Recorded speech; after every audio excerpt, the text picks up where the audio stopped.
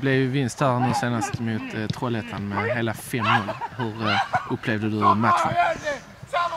Jag upplevde det bra. Vi behövde dessa tre poängen. Det var viktigt för oss. Jag hoppas nu bara det fortsätter. Det var viktigt.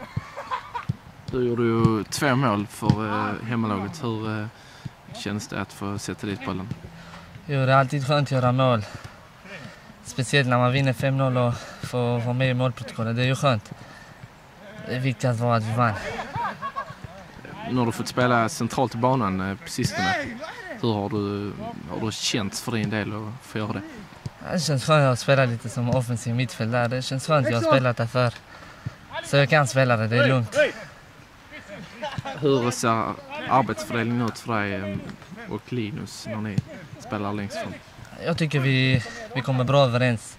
Han är mer den som ska hålla, hålla emot och jag ska vara mer den som springer på djupled. Så vi, vi, har, vi har gjort det bra tillsammans, tycker jag.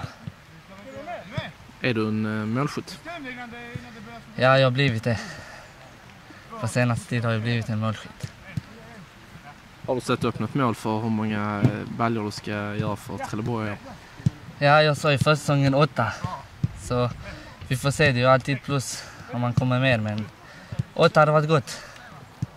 Vad tycker du att eh, du kan tillföra spelet bäst från eh, din offensiva position i centralt i banan? Så jag kan hjälpa, jag är bra på att komma till på djupled där och komma in med många gubbar och då kan jag nog bli bra där framme. Nu är det ny match på eh, lördag mot Karlstad. Hur känns det? Det känns bra nu. Jag hoppas det fortsätter nu. Vinst där också. Det blir inte så bra tid Karlstad. Så jag hoppas det blir tre poäng där också. Hur ser du på möjligheterna för laget att, vara med i den absoluta toppen? Alltså det är bra. Vi, vi ska vara där i toppen. Det är där vi hör hemma. Vi ska bara inte tappa onödiga poäng. Annars, ja det är klart vi ska vara topp två. Ingen snack om saken.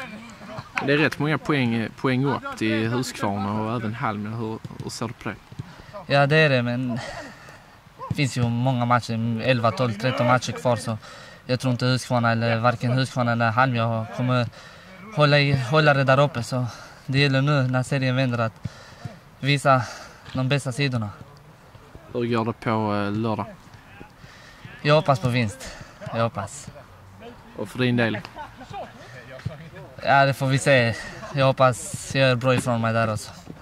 Ett bra mål till? Ja, det får man hoppas. Man vet aldrig.